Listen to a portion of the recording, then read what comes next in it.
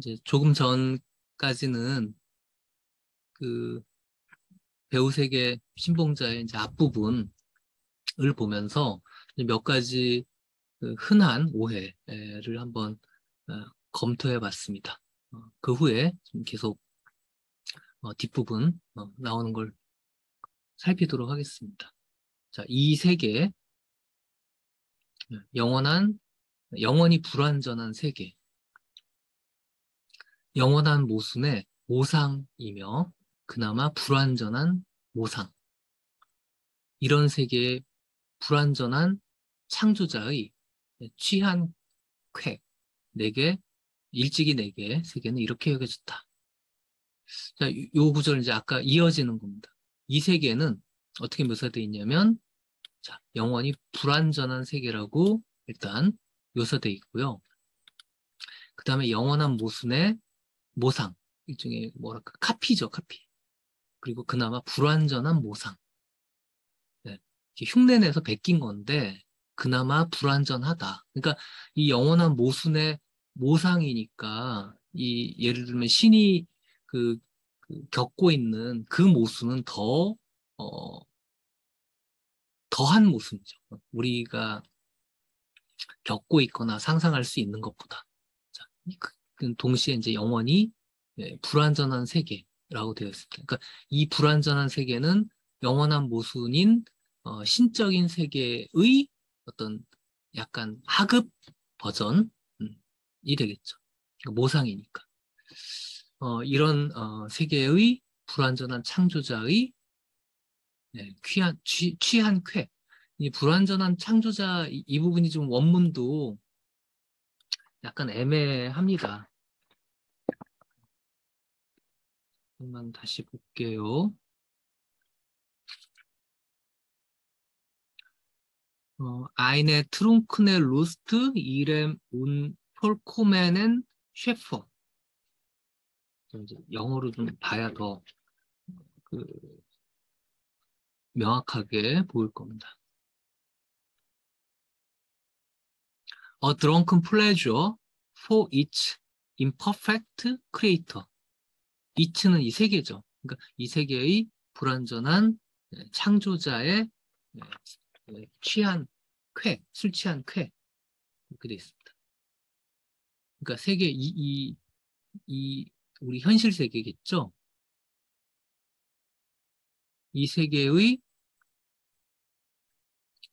불완전한 창조자. 왜냐하면 어, 이때 이제 불완전한이란 말은 창조의 결과인 이 세계가 불완전하다라는 뜻이 일단 있겠고요. 두 번째는 그 신 자체가 어떻게 보면 불완전하다. 뭐 그런 뜻도 어, 해석하기에 따라 네, 그렇게 이해될 수도 있습니다. 어쨌건 세계건 신이건 어, 둘 중에 하나 또는 둘 다 불완전하다 이렇게 되는 거고요.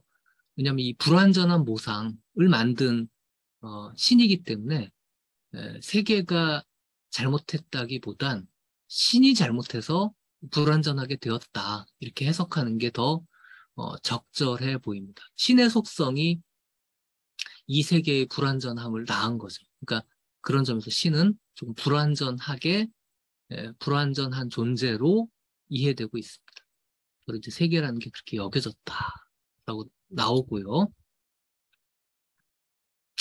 자, 요 첫 구절 다시 한번 보겠습니다. 일찍이 짜라투스트라도 모든 배후 세계 신봉자와 마찬가지로 인간 너머로 망상을 내던졌다. 이렇게 되어 있는데요. 여기 그 구절이 반복됩니다. 이처럼 일찍이 나도 모든 배우 세계 신봉자와 마찬가지로 인간 너머로 망상을 내던졌다. 정말 인간 너머였을까? 네. 인간 너머로 내던진 게 맞을까? 라고 얘기하고 있습니다. 네. 그러니까 이 망상을 인간 너머로 즉 신의 세계까지 포함한 그쪽으로 내던졌는데 과연 그런 걸까? 의문을 던지면서요.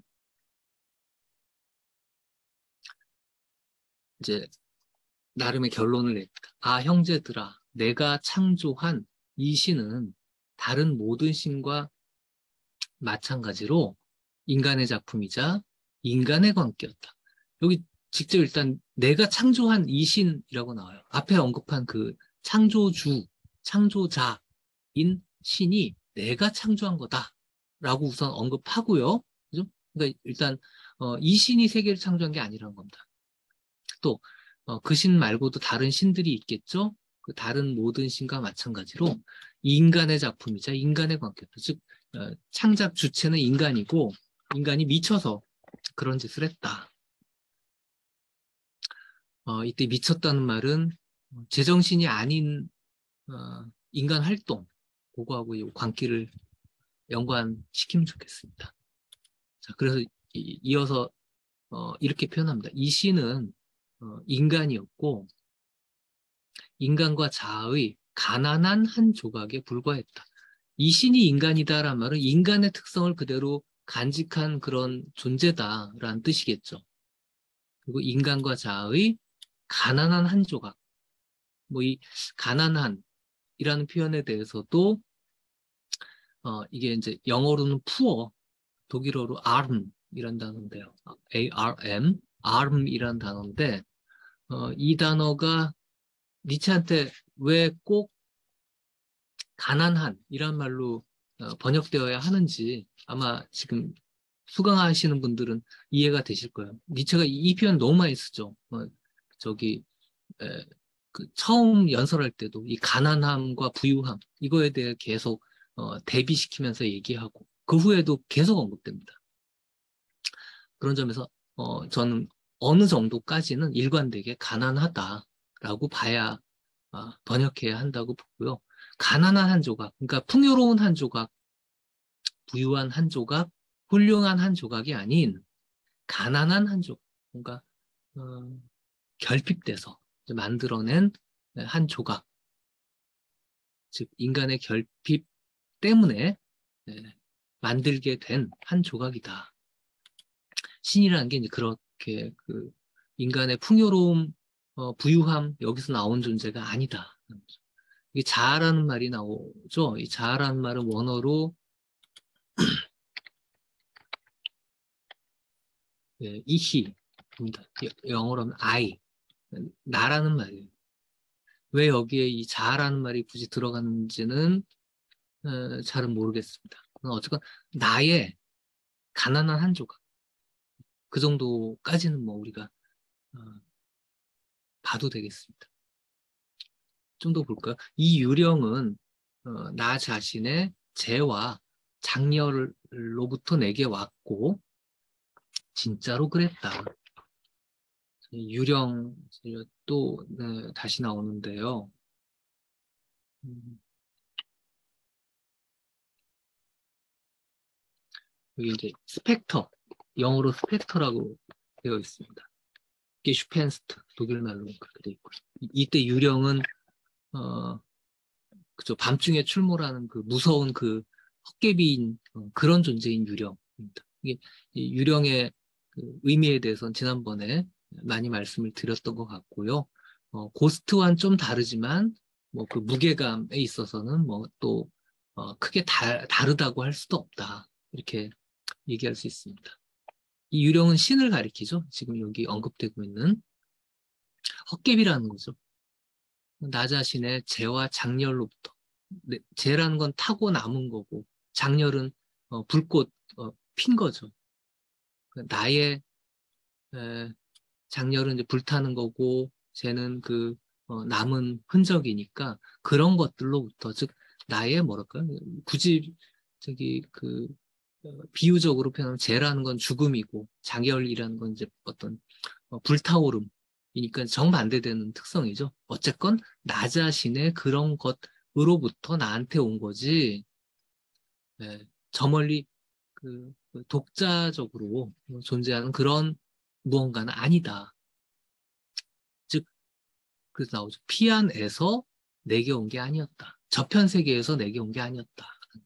그러니까 여기 지금 묘사되고 있는 신 몇 가지 특징들을 갖고 있잖아요. 이 신은 나한테서 비롯된 것이지 저편에서 난, 이, 이 세계로 나한테로 온 건 아니었다. 심지어 진짜로 그랬다. 이렇게 강조도 되고 있습니다. 형제들아, 무슨 일이 일어난 걸까? 나는 괴로워하는 나를 넘어섰다. 자, 이, 뭐죠? 깨달음입니다. 여기서부터 이제 어떤 깨달음이 있게 되죠. 정말 인간 너머로 망상을 던진 걸까? 그게 아니다. 내가 만든 거다. 라는 깨달음이 있었어요. 바로 어떻게 그런 깨달음을 얻은 걸까? 질문하는 거죠. What happened? 도대체 나한테 뭔 일이 벌어진 거지? 네. 나는 괴로워하는 나를 넘어섰다. 나를 극복했다. 괴로워하는 존재 인 나를 넘어섰다. 그럼 어떻게 이 괴로움에 가득 찬 나를 넘어설 수 있을까? 의문이 들죠. 여기 이렇게 묘사되어 있습니다. 나는 나 자신의 죄를 죄가 산으로 가져갔다. 어, 이 장면은 기억나시는지 모르겠는데 서설에서 어, 죄를 산으로 날아가서 거기서 다시 내려 어, 온다. 한마디로 불꽃이 되어 내려온다. 이런 묘사가 그 노인의 그 오두막에 살고 있는 예, 그 노인에 의해 진술되잖아요. 바로 요 장면 떠올리면 됩니다. 예, 제, 잿더미가 된 거예요. 완전 망가진 죽, 죽음이에요, 사실은. 그로부터 더 밝은 불꽃을 만들어낸 겁니다. 바로 피닉스, 불사죠. 어, 자라투스트라가 10년 동안 동굴에서 했던 일이 그거다라고 얘기할 수 있습니다. 죄를 부활시킨 거예요. 심지어 더 밝은 불꽃으로. 그게 이제 자라투스트라의 작업이었던 거죠. 치유, 뭐 일종의 치유라고 할 수 있습니다. 그렇게 밝은 불꽃을 냈더니 봐라. 그러자 유령이 내게서 물러났다. 그 신이 그리고 신이 창조했다고 망상한 그 세계가 에, 물러났다. 어, 이 더 밝은 불꽃을 만들어냈다. 그래서 유령이 물러났다라는 그 말의 뜻은 두 가지로 이해할 수 있습니다. 하나는 실제로 유러, 유령은 그 어둠 속에서 사람들에게 출몰하잖아요. 밝아지니까 유령이 물러났다. 도망쳤다. 나한테. 그렇게 얘기할 수 있고요. 어, 나름 어, 그 다음 단계는 훨씬 그 어, 밝고 니체가 또 강조하는 덕목 중에 하나가 명랑함이거든요. 그 명랑한 상태, 밝고 명랑한 상태가 되었다라는 겁니다. 이제 뭔가 어, 이게 이제 계몽이기도 하고요. 그런 상태가 되자, 즉 여기서 더 밝은 불꽃은 괴로움하고 이제 상반되는 그런 네, 용어로 이해할 수 있습니다. 그런 어떤 상태 네, 그런 걸로 이해할 수 있, 겠죠 그러니까 괴로움을 넘어서서 활기차고 명랑한 그런 상태가 되자 유령이 물러섰다. 이 두 가지가 다 가능합니다. 그러니까 문자 그대로 어, 너무 밝으니까 유령이 그 이, 있을 머물 여지가 없어진 거. 그다음에 네, 더 어, 깨달으니까 그래 그 밝고 가벼워지니까 또 이 무거움이 나로부터 어, 벗어났다. 음, 도망갔다. 그렇게 얘기할 수 있겠습니다. 그런 유령을 믿는 건 지금 내겐 괴로움이고 치유된 자에겐 고통이리라. 자, 지금 나는 바뀌었죠, 상태가. 그래서 오히려 그런 유령을 믿는 게 괴로움이라는 거죠. 과거에는 괴로운 내가 유령을 불러냈고 내 가까스로 내, 내, 내, 내 곁으로 이렇게 불러냈고 어, 한 걸음 더 나가는 그 유령을 창조했다. 저 신을, 배우 세계를, 또 초월 세계를, 저편 세계를 네, 그렇게 얘기할 수 있었다면 지금은 오히려 그런 유령을 믿는 게 괴로움이고 또 더 확장하자면 치유된 자에겐 예, 그걸 믿는 게 고통이다. 지금 내겐 괴로움이고 굴욕이리라. 이렇게 나는 배우세계 신봉자에게 이렇게 말한다. 자, 이제 어, 과거의 나 배우세계 신봉자였죠.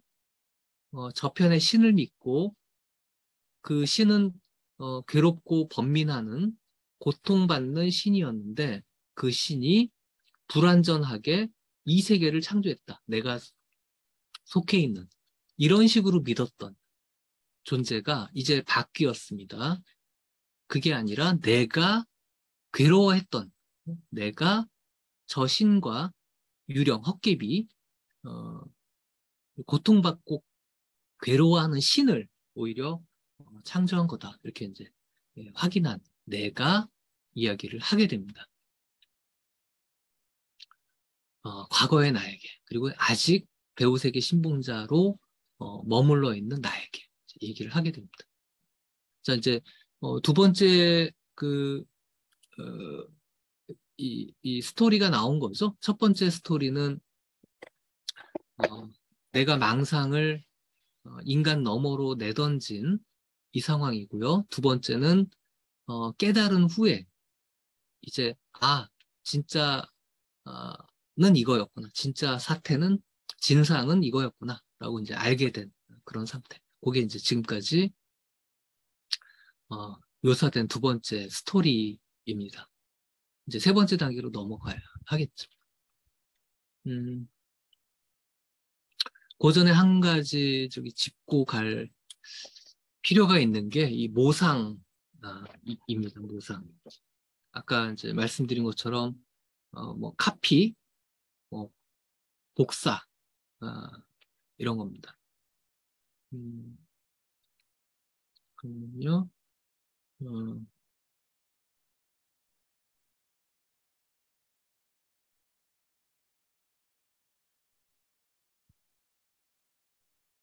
음, 어디 있죠? 지금 독일 말로 이제 앞빌트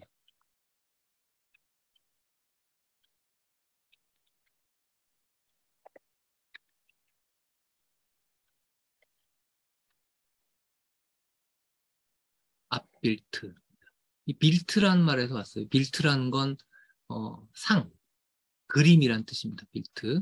어, 이 영어로 직역하면 이미지예요. 이미지.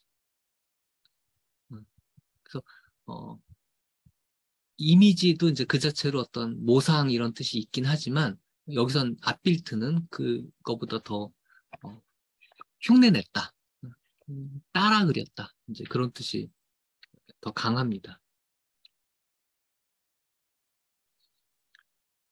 음,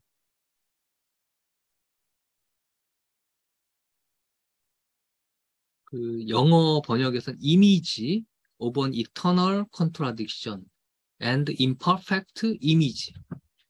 그냥 이미지라고 되어 있습니다. 근데 방금 저기 드린 말씀처럼 어, 이미지는 어, 빌트의 직역 이고요. 앞빌트는 어, 그와는 조금 구별됩니다. 뒤에 프랑스어 번역 잠깐 다시 확인하겠습니다. 어, 프랑스어 번역에서는 코피 éternelle contradiction et imperfect copy 코피라고 되어 있습니다. 카피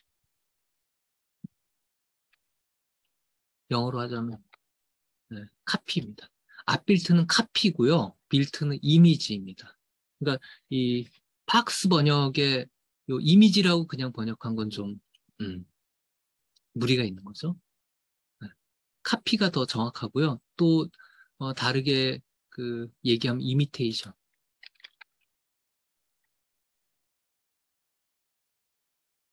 M이 두 개인가요? 이, 하나죠? 이미테이션. 네, 모방입니다. 그런 의미의 모상이에요, 모상. 그러니까 이 부분도 이제 그, 그 번역자마다 좀 어, 편차가 있어요. 어떤 분들은 그냥 이 상, 이런 이미지, 빌트 이걸로 옮긴 분들도 꽤 계시더라고요. 그러나 어, 여기서 강조하는 건 그냥 이미지란 것보다는 뭔가를 베낀 거다. 어, 복사한 거다. 음, 복제한 거다. 그런 뜻이 네, 그, 그 니체가 강조하고 있는 네, 측면입니다. 어, 니체한테 그 이미지라고 하면 빌트 어, 라고 하면 꽤 긍정적인 의미가 그 있어요. 가령 우리가 꿈을 꾸는 거 아까 어디 꿈 있었죠?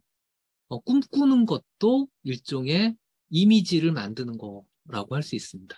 이미지. 음, 뒤에는 어떤 얘기가 나오냐면 돌 속에 어떤 이미지 중의 이미지, 즉 최고의 이미지가 잠자고 있다. 이걸 끄집어내야 된다. 이런 표현이 나와요, 뒤에. 자, 그렇게 보면 그 이미지란 건, 어, 우리가 꿈꾸는 또는 상상하는 어떤 좋은 어떤 것. 그게 이제 이미지입니다. 참고로, 이미지네이션이란 말 있잖아요. 이미지네이션도 그 이미지를 만들어낸다, 이미지를 형성한다 그런 뜻이에요. 원래는. 즉, 어, 이미지를 만들어내는 모든 활동이 다 상상인 겁니다. 근데 어떻게 해야 만들 수 있을까? 이건 잘 몰라요, 우리가. 거기에 이제 또 복잡한 그 맥락들이 있으니까, 어, 그건 저기,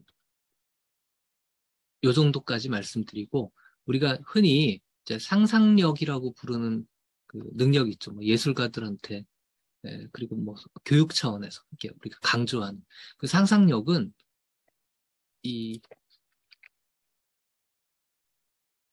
과연 이게 힘일까, 능력일까라는 걸 우리가 어, 의심할 수 있는 그런 뭔가입니다. 만약에 그게 능력이라면 배양할 수 있어야 하거든요. 즉 어, 훈련을 통해서 그게 키워질 수 있어야 하는데 그게 잘 안 되는 것 같아요. 교육적으로 이게 우리 상상력을 키운다 뭐 어, 시도도 많이 하고 어, 떤 목표도 그렇게 세우고 어, 노력도 많이 하는데 과연 그게 되고 있는가?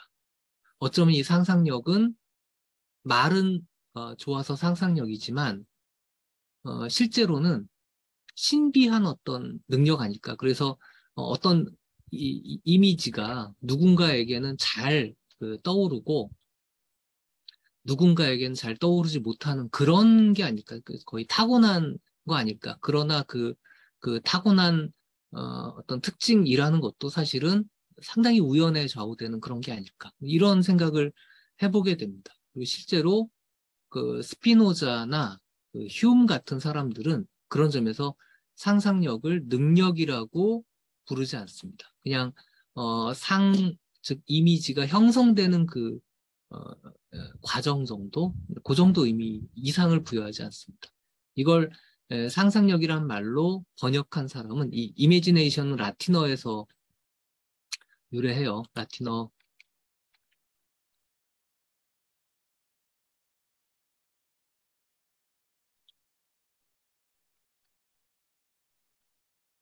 이마고라는 게 이제 상이거든요. 이미지거든요.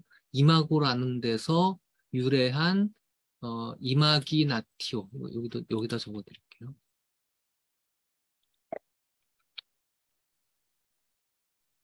어, 이 명사 또는 이미지네이션이라고 우리가 어, 영어나 그 프랑스에서 부른 이마지나스용 어, 이런 말들의 독일어 번역을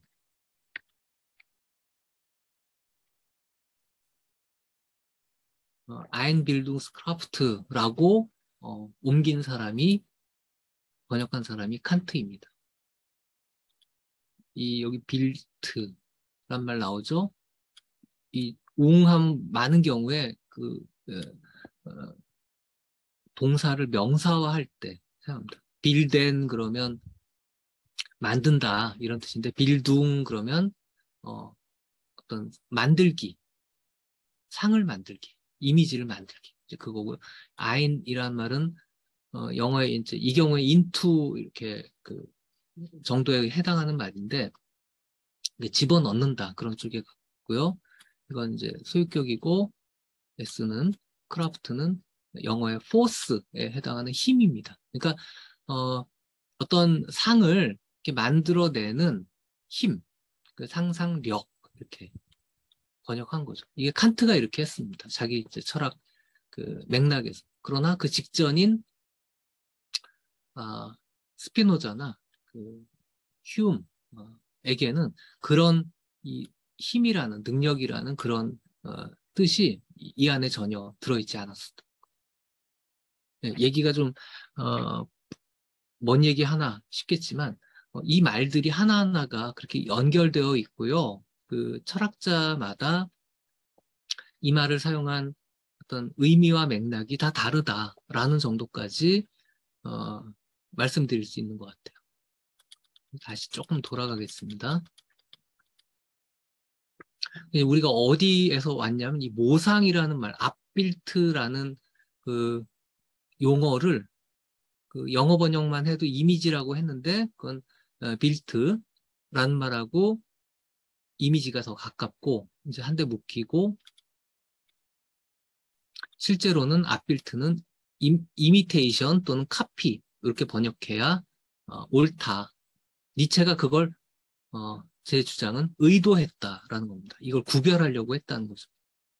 그리고 어, 빌트 이 이미지라는 거는 어, 훨씬 더 긍정적인 그 의미로 마치 설계도라든지 어, 목표 뭐 이, 런 그 뜻으로 썼다면 앞빌트는 거의 일방적으로 부정적인 의미로 썼다.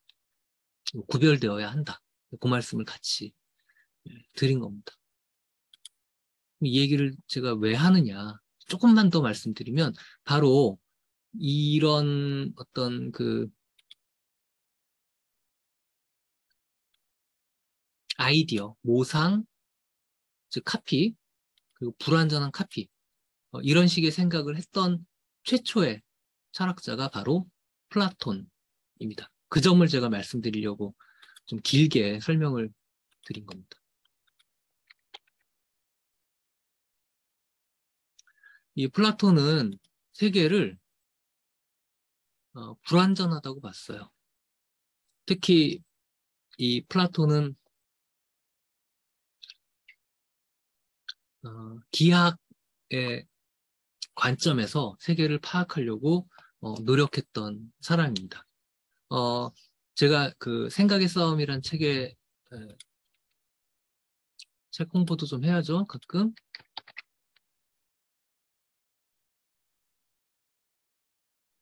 어, 이게 언제 썼죠? 2019년인가요? 어, 서양 철학의 그 주요 장면들을 어, 그 특징적으로 이렇게 뽑은 그래서 그 원문을 이렇게 강독하는 형태로 그, 어, 한 철학자의 핵심 사상을 소개한 어, 그런 책인데요. 어, 이게 올해 그 국내 유일의 철학도서관이 원주에 있습니다. 원주 중천 철학도서관. 어, 그곳에서 원주 시민들과 함께 선정한 2022년 올해의 철학책으로 선정이 됐습니다. 세권 음, 뽑았는데 제가 그 중에 한 권 뽑혔습니다. 좋은 책이고요. 어, 플라톤에 대한 지금 제 말씀은 이 책에서 훨씬 자세하게 네, 그 이야기를 제가 드렸습니다. 자, 플라톤은 자기의 그 뭐라고 하죠? 연구실 학원 이제 아카데메이아라는 학원인데요. 그 입구에 뭐라고 썼냐면 뭐 요약해서 말하자면 기하학 모르면 들어오지 마라 이렇게 썼습니다. 기하학 수학 중에서도 똑같습니다.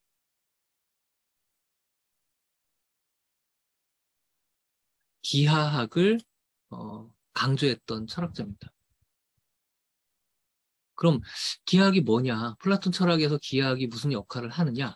자, 세상이 왜 에, 모상이고 불, 그나마 불완전한 모상이라고 플라톤이 생각했느냐? 사실은 이 우리 세상에는 정확한 원, 정확한 삼각형, 가령 정삼각형 뭐 이런 거 있죠. 정확한 사각형 이런 것들이 특히 정사각형 뭐 이런 것들이 없어요. 대부분 다 근사치입니다. 가령 우리가 원을 그린다고 생각해 보세요. 이 세 개. 그럼 에, 컴퍼스 같은 걸로 이렇게 그려요. 그러나 그건 정확한 원은 아닙니다. 왜냐하면 어, 기하학적 대상은 특히 이런 원 같은 대상은 어, 1차원 공간을 어, 이건 2차원이라고 해야겠죠? 어, 2차원 공간을 점유해요. 근데 이, 이, 이 1차원, 0차원 점, 1차원 선, 2차원 면, 어, 이런 곳에는 크기가 없어요. 3차원이 돼야 비로소 크기가 있습니다. 다시 말하면 어떤 입체, 볼륨이 되어야 크기가 있고 기하학적 대상의 상당수는 크기가 없습니다. 점, 선, 면까지는. 우리가 그걸 만약에 어, 우리 3차원 세계 현실이죠. 거기서 구현하려고 하면 오류가 생겨요. 두께가 갑자기 부여되고 어떤 깊이가 거기 부여되고 그렇게 됩니다. 플라톤은 이 기하학을 통해서 가령 어, 삼각형의 세 내각의 합이 180도다. 우리 어렸을 때 많이 실험 해봤죠? 삼각형 하나를 그려서 세 각 부분을 찢어서 다 붙이면 모으면 어, 그게 직선 위에 딱 붙는다. 뭐 이거 그랬 예, 그, 그 실험해보고 그랬던 기억이 전 나는데요. 그러나 실제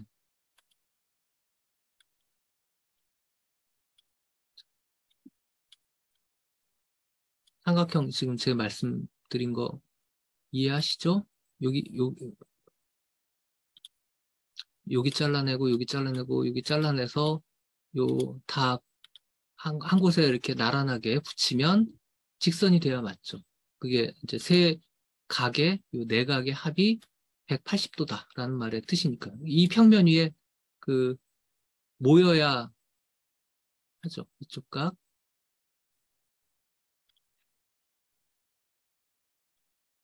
이쪽 각, 이쪽 각, 이쪽 각. 요 세 각이 각각 모여야 합니다. 어디가, 요, 요게, 요게, 대응하죠? 요, 요각, 그 다음에 요각, 그 다음에 요각. 뭐, 그, 똑같지 않더라도 그냥 대충 보세요.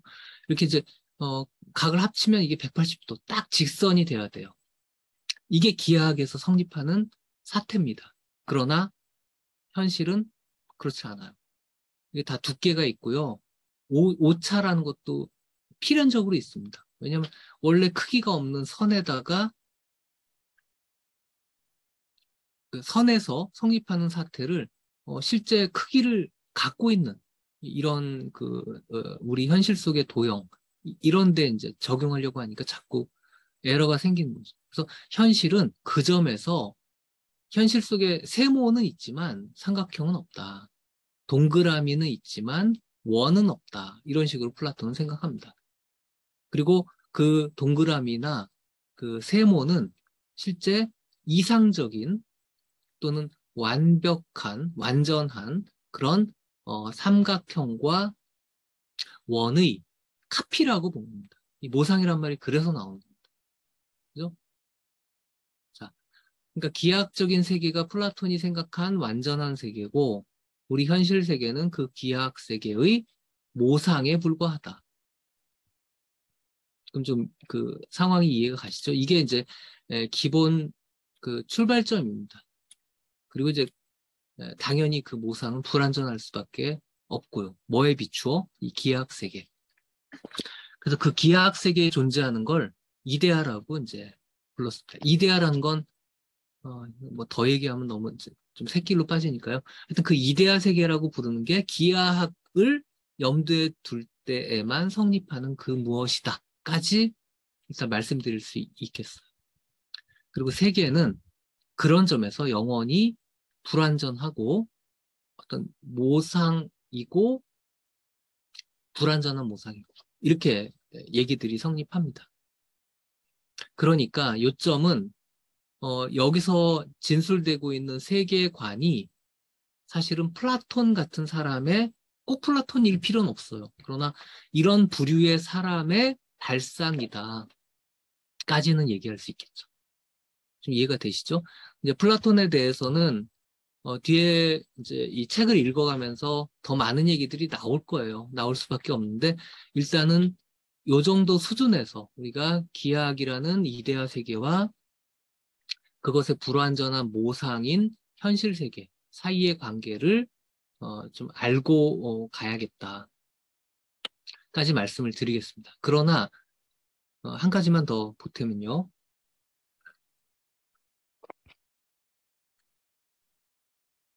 여기서 영원한 모순의 모상이다라는 부분까지 앞에 얘기를 확장하면 제가 그 초록색으로 지금 그린 어, 밑줄 침 이 부분 말고 이 앞까지 확장하면 그건 플라톤의 얘기랑은 어, 그 자체로는 어, 서로 어, 구별될 수밖에 없습니다. 다른 얘기가 되어버려요.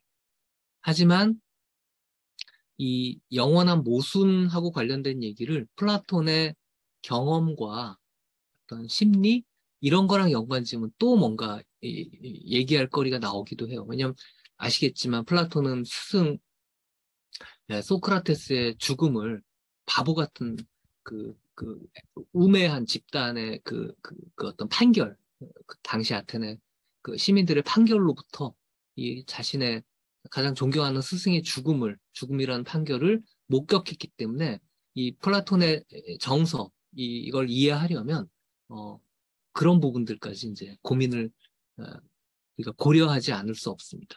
하지만, 일단 요, 거기까지 얘기하는 건 더 이제 해석이 깊어지니까요.